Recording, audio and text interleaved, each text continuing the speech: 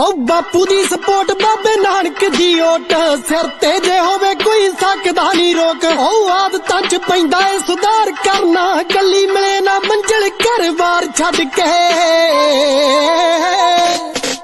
ਓ ਛੱਡੇ ਨਾ ਜੇ ਪੈਰ ਬੰਦਾ ਹੁੰਦਾ ਨਹੀਂ ਫਲੋਪ ਹਿੱਟ ਹੁੰਦਾ ਨਹੀਂ, ਪੁਰਾਣੇ ਕੋਈ ਯਾਰ ਛੱਡ ਕੇ।